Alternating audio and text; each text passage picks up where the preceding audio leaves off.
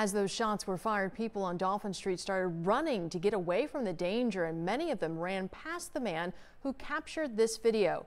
It was later posted on TikTok and now has captured more than 1.7 million views and more than 122,000 shares. Tonight, NBC 15's Darwin Singleton talks with Mobile native Micah Neal, the man who shot these scenes, about what he was thinking then and what he's thinking now it was a it was a, it looked like a, a riot or a, you know some kind of pandemonium running right at me and it was pretty intense. 45 year old micah neal was born in mobile and went to school here so he's no stranger to the port city. He was however a stranger to scenes like this.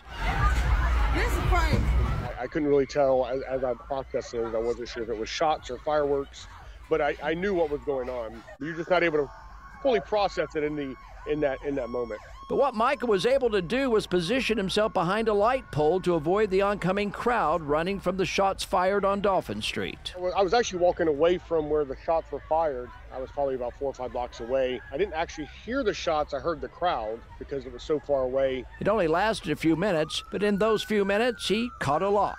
The running, the looks of desperation on some of those fleeing, and the sound of fear and panic. Micah tells me he still likes the small town feel of Mobile, one reason he made it a stop on this weekend's motorcycle trip. He's back at his home near Tampa now, where he dabbles in posts on TikTok. His posting of the scenes he recorded this weekend in Mobile are going viral. But do they change the way he feels about his birthplace? No, of course not. Absolutely not.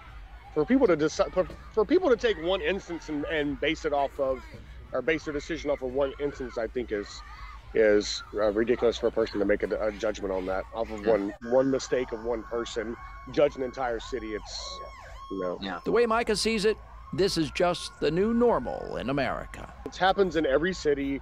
It's going to happen. Darwin Singleton, NBC 15 News. And if you'd like to watch the video again or take a look at some of other Micah Neal's other TikTok videos, we'll tell you how at the bottom of this story at mynbc15.com.